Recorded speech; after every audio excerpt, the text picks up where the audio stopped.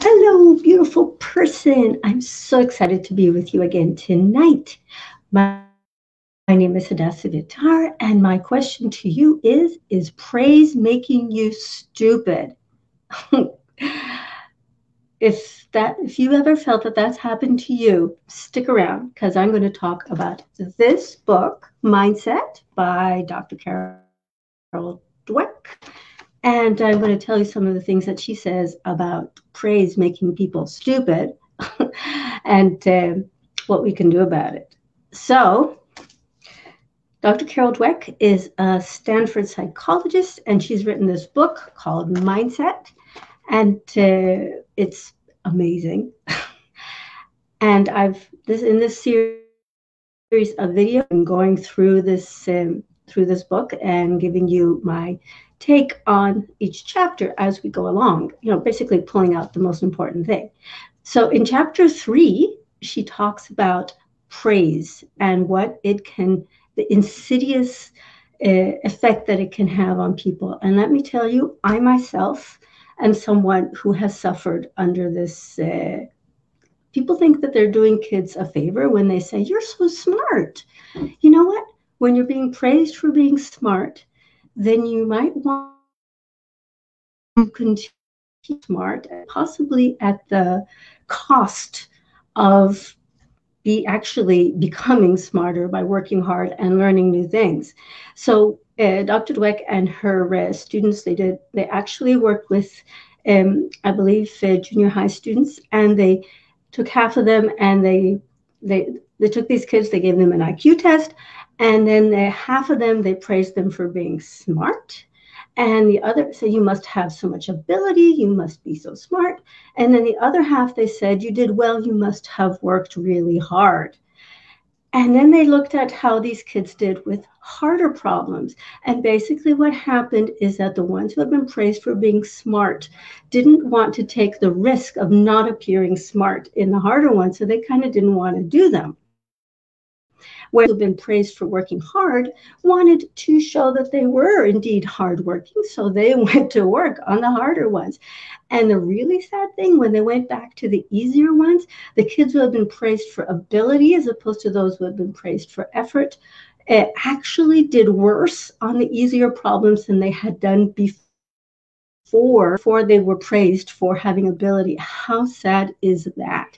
And I have to tell you that I am a person who has always been told how smart I am, and that really affected my ability to grow and to see myself as someone who is okay failing in public. You know, failing in public is a scary thing when you've based your entire personality on being a smart person, being known for the smart one. Have you ever been the smart one? I'm the second born. I was the smart one.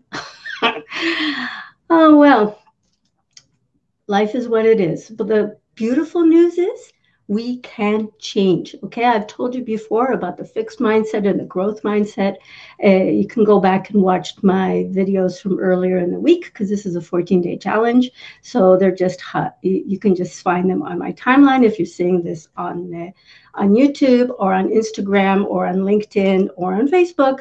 You can uh, find all these videos further up in my timeline or on my channel or wherever you're looking. So I uh, wanted to thank you again for watching me. And um, yeah, so here's the thing. If children or indeed adults are praised for ability, innate talent, you must be so smart. She mentions uh, this guy, um, what's his name? Adam Guettel. Guettel um, who was the grandson of Carl Rogers, who was, you know, Rodgers and Hammerstein and so on. And this guy had so much expectations and so much, you are so talented piled on him. He had a terrible time of it. But um, I had actually never heard of this guy before, but apparently he is very talented. But he, you know, can you imagine growing up in a family where everyone's expecting you to be the second coming of Rodgers and Hammerstein? It's really hard.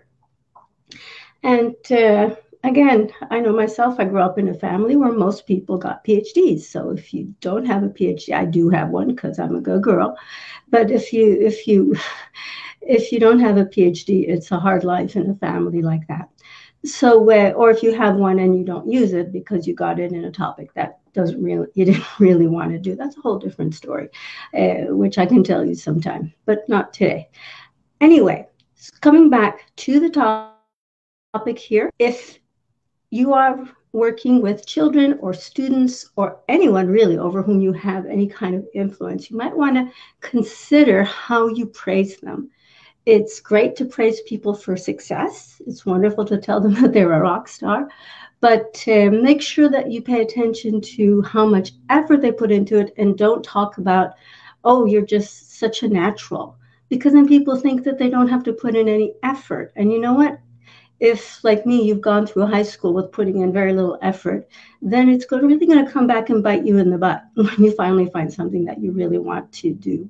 So when watch your language don't praise people for innate things that they really shouldn't be taking credit for. Anyway praise them for how hard they've worked at something how much commitment they've shown for something and you're just going to find that they're going to do much better and have much better results because they're not holding themselves back out of fear that people will think maybe that they're not so smart if they have to work at something.